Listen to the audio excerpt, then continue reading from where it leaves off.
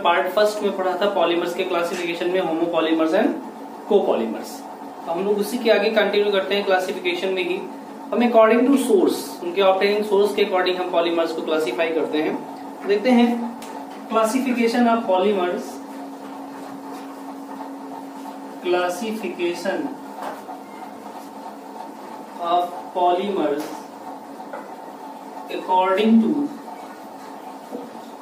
their source उनके source के according हम क्लासिफाई करते हैं तो सोर्स के अकॉर्डिंग अगर हम बात करते हैं, पहले हमारे होते हैं natural polymers natural polymers synthetic polymers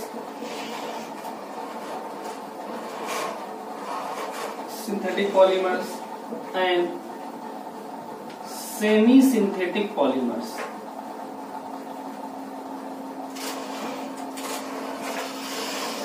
Semi synthetic polymers तो बात आती है कि नेचुरल पॉलीमर्स क्या होते हैं? नेचुरल पॉलीमर्स क्या होते हैं? ये हमारे ऐसे पॉलीमर होते हैं जो हमें नेचर में मिलते हैं that mean they are synthesised by the nature that mean plants और एनिमल्स में प्रेजेंट होते हैं। इनको हम बोलते हैं natural polymers means these are the polymers these are the polymers that obtain that obtained from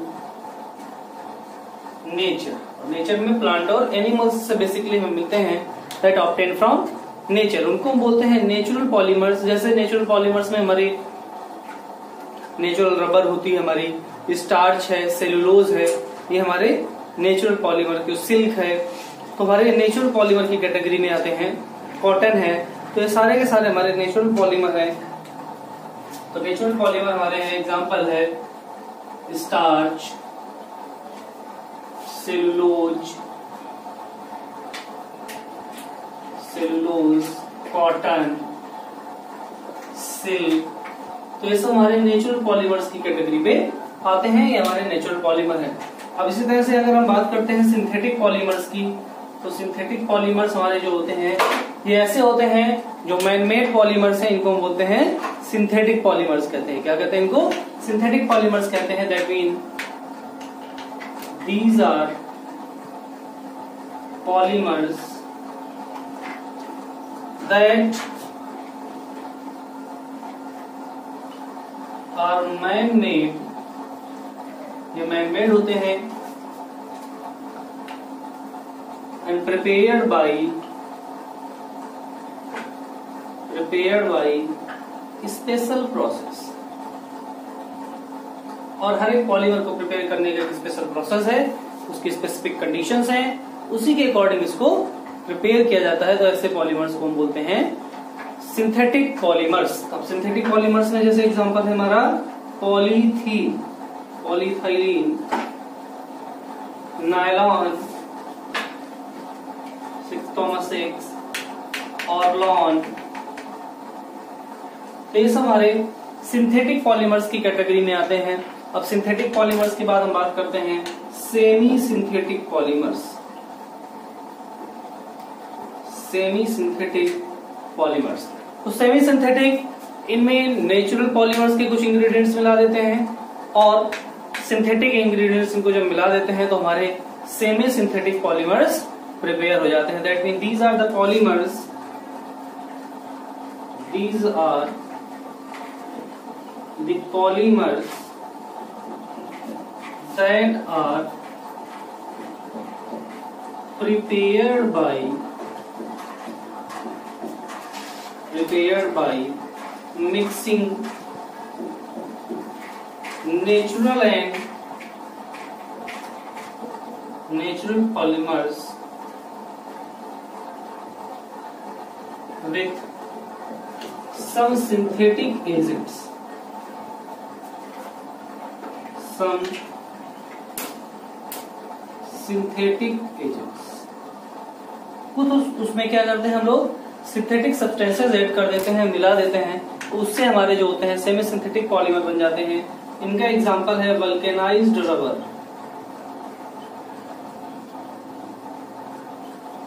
vulcanised rubber tyre वगैरह जो हमारे बने होते हैं वल्केनाइज्ड रबर से बनाए जाते हैं इसमें हमारी नेचुरल रबर जो होती है, उसको कोक के साथ हम लोग कार्बन के साथ और सल्फ़र के साथ बॉयल करते हैं। बॉयल करने से उसमें क्रॉस लिंकेज बन जाते हैं। तो इस तरह से हमारी क्या होती है? वल्केनाइज रबर होती है और वो हमारा एक सेमी सिंथेटिक पॉलीमर है। दैट मीन अगर इनके हम ऑप्टेनिंग सोर्स के अकॉर्डिंग बात करें तो हमारे जो पॉलीमर है नेचुरल पॉलीमर्स जो हमें नेचर से मिलते हैं नेचुरली मिलते हैं, जैसे स्टार्च है सेलुलोज है काइटिन है, ये सब हमारे नेचुरल पॉलीमर है। उसी तरह से सिंथेटिक पॉलीमर ये मैन मेड पॉलीमर है टोटली मैन मेड है केमिकली प्रोसेस के थ्रू तैयार किए जाते हैं। इनको हम बोलते हैं सिंथेटिक पॉलीमर्स जैसे कि हमारा नायलॉन है ऑर्लॉन है बेकेलाइट है, ये सारे के सारे हमारे सिंथेटिक पॉलीमर्स हैं। अब हम बात करते हैं सेमी सिंथेटिक तो सेमी सिंथेटिक पॉलीमर्स हमारे जो होते हैं, ये में क्या करते हैं? हम जो नेचुरल पॉलीमर्स होते हैं, उनमें कुछ ना कुछ हम केमिकल सब्सटेंसेस कुछ एडिटिव्स मिला के उनको प्रिपेयर करते हैं। तो ऐसे पॉलीमर्स को हम बोलते हैं सेमी सिंथेटिक पॉलीमर्स तो इस तरह से according to their obtaining source के अकॉर्डिंग हमारे जो पॉलीमर्स हैं, वो थ्री टाइप के हुए natural polymer synthetic polymer and semi synthetic polymer अब हम बात करते हैं इनकी ब्रांच चेन स्ट्रक्चर के अकॉर्डिंग बात करते हैं। उसमें देखते हैं। तो ब्रांच चेन स्ट्रक्चर के अकॉर्डिंग हमारे जो पॉलीमर होते हैं, वो क्रॉस लिंक होते हैं लीनियर पॉलीमर होते हैं एंड ब्रांच चेन पॉलीमर्स होते हैं। तो उसमें भी थ्री टाइप के हमारे, इनकी पॉलीमर चेन की स्ट्रक्चर के अकॉर्डिंग की पॉलीमर एक चेन किस तरह से है तो linear polymer branch chain polymer and cross linked polymer तो थ्री टाइप के होते हैं, उनको भी हम लोग डिस्कस करते हैं।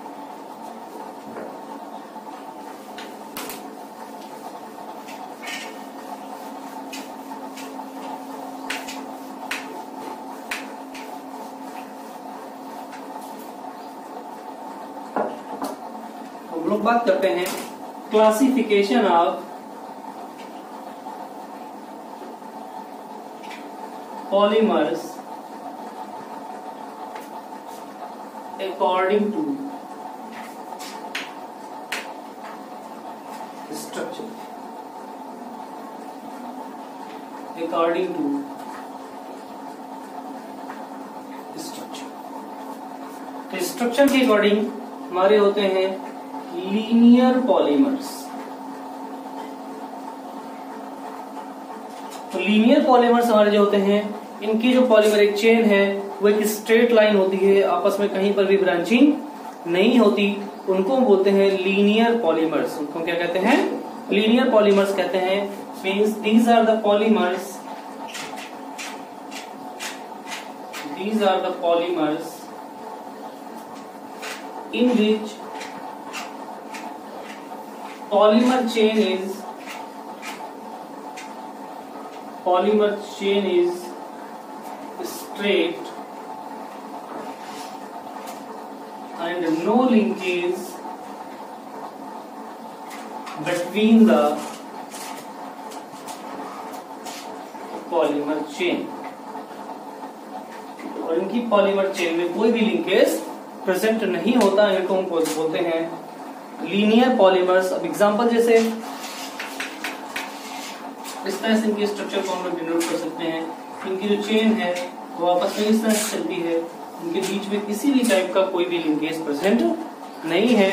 तो इन पॉलीमर्स को हम बोलते हैं लीनियर पॉलीमर्स ये हमारे जो है लीनियर पॉलीमर है। सीधी चेन चली जाती है। ये आपस में एक दूसरे के साथ कहीं पर भी ज्वाइन नहीं है। इसको बोलते हैं लीनियर पॉलीमर्स वो क्या कहते हैं? लीनियर पॉलीमर एग्जांपल है जैसे कि पॉली इथाइलीन ये हमारा एक लीनियर पॉलीमर है पॉलीइथाइलीन इनकी पॉलीमेरिक चेन्स में कहीं पर भी कोई भी ब्रांचिंग प्रेजेंट नहीं होती है। लीनियर के बाद हम लोग बात करते हैं। ब्रांच चेन पॉलीमर्स मतलब इनकी जो पॉलीमेरिक चेन होती है, ये एक दूसरे से अटैच तो नहीं होती, लेकिन उनमें पार्शियल ब्रांचिंग प्रेजेंट होती है इस तरह से, जैसे ये पॉलीमरिक चेन है पॉलीमरिक चेन में, इस तरह से ब्रांचिंग प्रेजेंट होती है।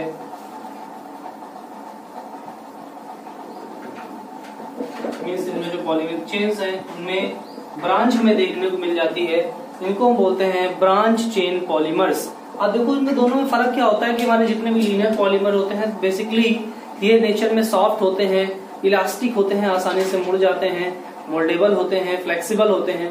तो वो जो प्रॉपर्टी होती है हमारी ब्रांच चेन पॉलीमर्स की होती है सॉरी लीनियर पॉलीमर्स की होती है, हल्के होते हैं और इसी तरह से जो हमारे ब्रांच चेन पॉलीमर्स हैं, इनमें ब्रांचिंग की वजह से कंपेरेटिवली हार्ड होते हैं और बहुत ज़्यादा एक्सटेंट तक इनको मोल्ड नहीं किया जा सकता मोड़ा नहीं जा सकता है। तो कंपेरेटिवली हार्ड मिलेंगे हमारे। तो होते हैं हमारे ब्रांच चेन पॉलीमर्स मीन्स जिनकी पॉलीमरिक चेन्स में हमें ब्रांचिंग देखने को मिलती है, उनको बोलते हैं branch chain polymers means these are the polymers in which polymeric chains have partial branching इनमें पार्शियल ब्रांचिंग प्रेजेंट होती है, जिससे इनका जो फ़िज़िकल नेचर है, वो चेंज हो जाता है। उसमें थोड़ा सा चेंज आता है, फ़र्क आ जाता है। एग्ज़ाम्पल जैसे इसका है हमारा पीवीसी इसमें पार्शियल ब्रांचिंग प्रेजेंट होती है क्लोरीन की वजह से। पीवीसी हमारा हो जाता है स्टाइरीन हो जाती है पॉलीस्टाइरीन पॉलीस्टाइरीन तो इनमें पार्शियल ब्रांचिंग हमें देखने को मिलती है। तो ये हमारे होते हैं ब्रांच चेन पॉलीमर्स होते हैं। इनको हम इस तरह से क्लासिफाई कर लेते हैं।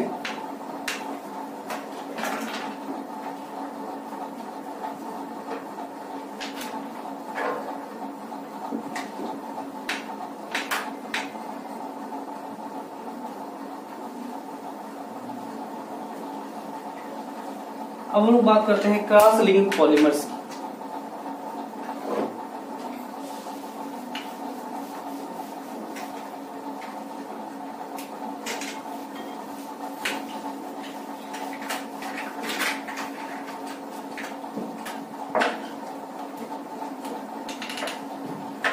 Cross linked polymers.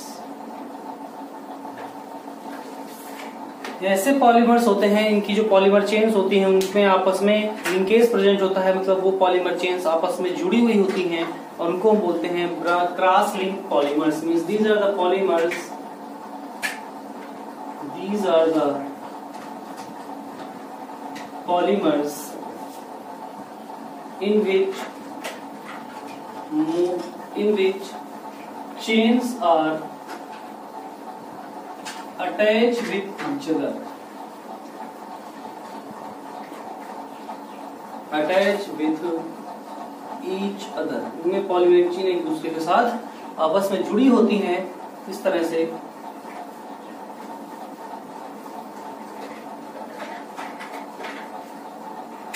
इनको बोलते हैं क्रॉस लिंक और क्रॉस लिंक की वजह से बहुत ही हार्ड हो जाते हैं।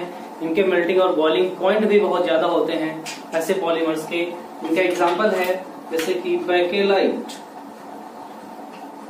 बैकेलाइट हमारा जो होता है क्रॉस लिंक पॉलीमर होता है टेफ्लॉन है हमारा क्रॉस लिंक पॉलीमर होता है। इनकी जो पॉलीमरिक चेन है, आपस में एक दूसरे के साथ क्लोजली अटैच होती हैं क्रॉस लिंक हो जाती हैं। ये हमारे होते हैं क्रॉस लिंक्ड पॉलीमर्स